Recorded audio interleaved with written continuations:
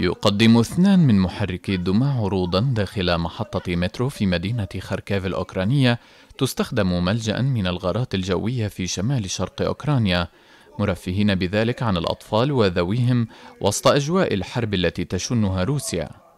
ويحاول الاثنان من خلال عروضهما جعل الأطفال وأولياء أمورهم ينسون جولات القصف الروسي التي تتوالى على ثاني أكبر مدن أوكرانيا Жива вистава це е, взагалі завжди це емоція, яка тут і зараз. Вона не повторюється. Кожна вистава це інша вистава. Ну, Фільм один раз зняли, наприклад, або мультфільм, або серіал. Ви подивились, це зафіксована емоція. Очень важная, потому что как э, посмотревший представление, пересматриваешь, э, во-первых, эти сказки и свое мировоззрение.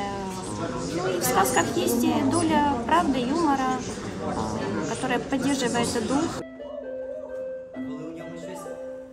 وتتعرض خاركيف يوميا لقصف عنيف يخلف عددا من الضحايا إذ كثفت روسيا استهدافها منذ أن أعلن الرئيس فلاديمير بوتين أنه سيسحب قواته من منطقة كييف للتركيز على شرق أوكرانيا.